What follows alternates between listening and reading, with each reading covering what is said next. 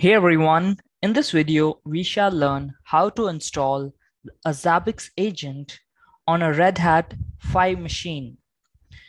So Red Hat 5 is a very old machine and it's not supported anymore by Red Hat. However, there might be some instances in your environment which are on RHEL 5 and you might need to monitor them.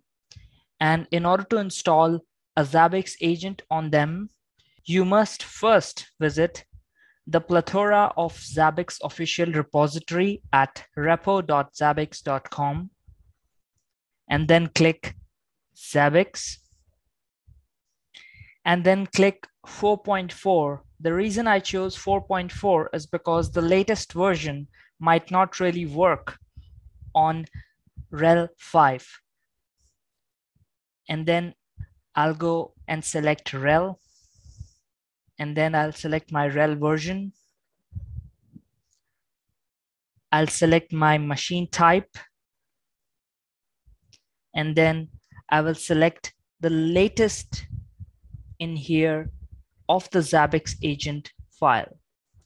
I'll go ahead and right click on this and click copy and open a notepad and paste it here and come in front of it and copy this bit as well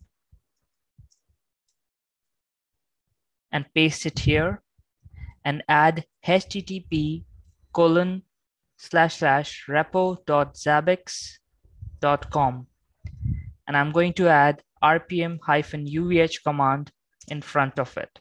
So this is the whole command which you are going to use to install Zabbix agent on a RHEL 5 machine. I'm sure this should work. Thank you for watching. I'll see you in the next video.